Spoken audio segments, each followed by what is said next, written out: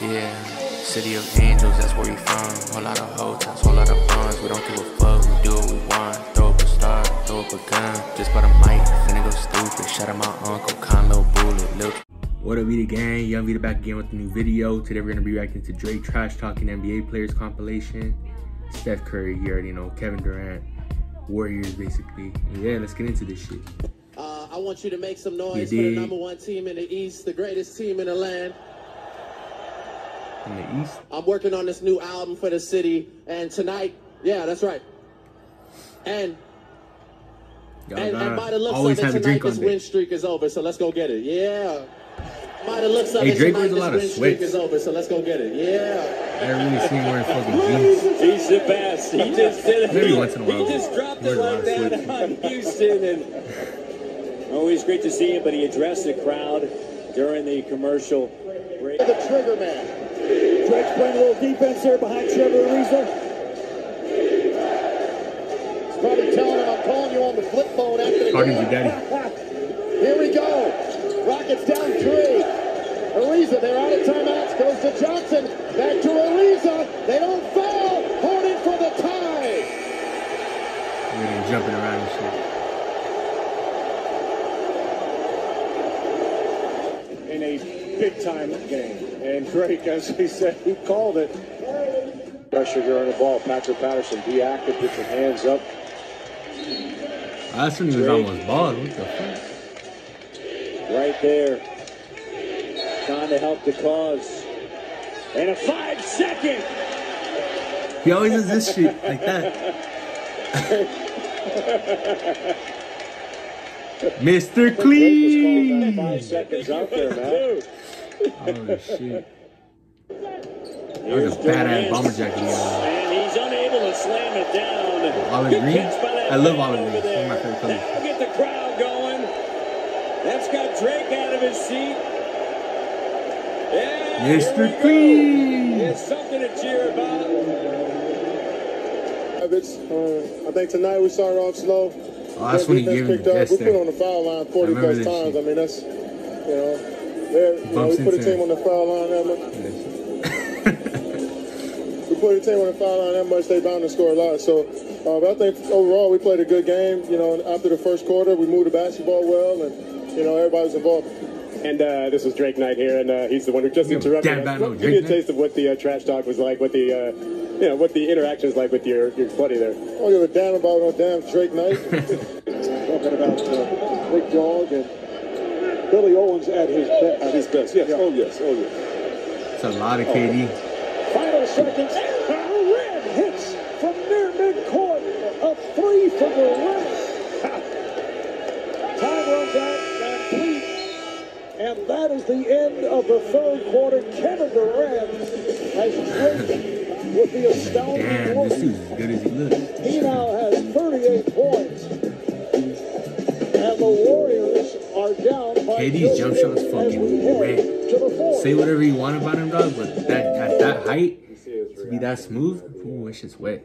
Oh yeah, oh yeah, oh yeah. He talks a lot of trash over there on that sideline. So anytime I can throw it back in his face is uh, definitely a win for me. That's right. John, you're getting bodied by 20 tonight. Six bars. Yeah, and Kyle Lowry's a fucking bars. midget. You're a fool. monkey, my G. Nah, that's fine. Nah, I fuck with Kyle. We have the same birthday, but Wizards trailing the I only, uh, by eight with watch the 8:25 Raptors like that. Here in the John. Wall? John Wall and Drake having some work. It's a tough shot. yeah, that shit keeps getting low and high, man. Miles. You bet.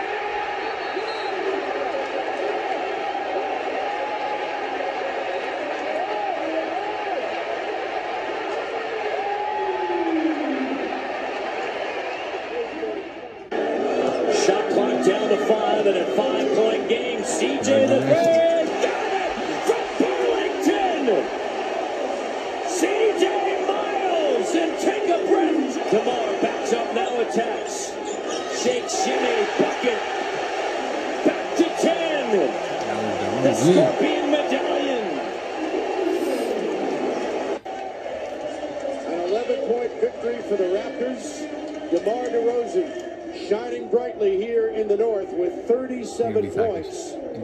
Outdueling John Wall, who had 29 points Oh, he's just clapping and nine assists. Raptors will take a 2-0 lead back to the nation's capital for games three and four. We'll come back to discuss it right after this.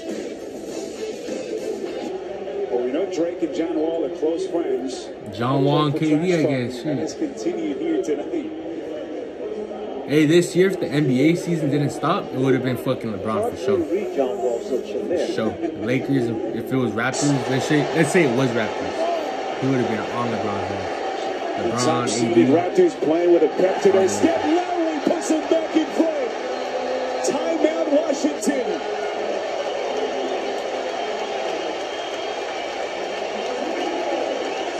half, and it's 24-21.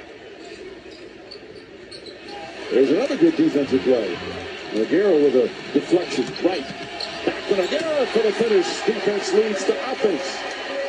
So when you're struggling, Drake, that gets him out of his chair. When you're struggling to score the basketball, what's The final six Oh, and he got his of the year. fucking Kevin Closest leg of the uh, training camp for the U.S. out the Knicks. national team. Here's Steph Curry with that quick release. Some say Uh, it's Kobe's last All-Star game, man. Now his big task is what he's going to do next. You know, and I, and I think he's got some plans, and, And I look forward to seeing you know where his life goes from this point forward, and uh, him, him and his wife and the kids.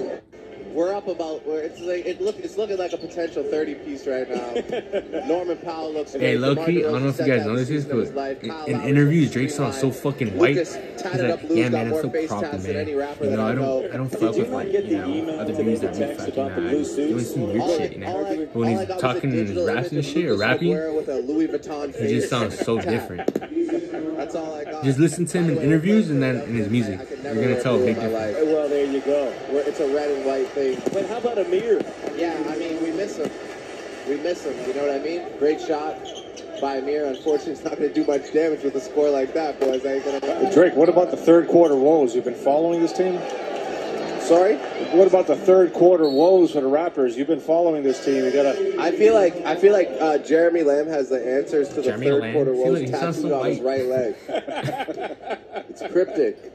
It's cryptic. It's proper. drawing me in, boys. I don't know. Something about it. What What is that? it's mesmerizing. Is that? Yeah, yeah. What do you ask for when you get that? You know what I mean? I, I don't Give me the Da Vinci Code. Oh, Nogueira from downtown. Huh? That's what you want. A Oh. seven footer shooting threes. It's got to be the face tats. it's got to be the face. It's gotta be the face Oh, this guy's all trouble right here. well, he tell Don't get me wrong, I all fuck the with, he's actually my favorite artist of all time. He's on- linty. Yeah, He's it's funny as fuck. We need your lint rollers back. Yeah. Do you want me to interview? Who do you want me to interview? I'm, Yeah, Whoever. when do I take want. this thing off? Yeah, that was a good video, man. Shout out Drizzy, Six God, my favorite artist of all time, right there. Yeah, he does some dumb shit though. You know, fucking with the players and all that shit. Um, but yeah, thank you guys for watching. I appreciate it. Like, subscribe, comment, do what you gotta do. And yeah, you know what I'm about to say. Peace. Right. Yeah, I'm gonna say lates in the next videos. From now on, I'm gonna say lates. You know what I'm saying? Lates.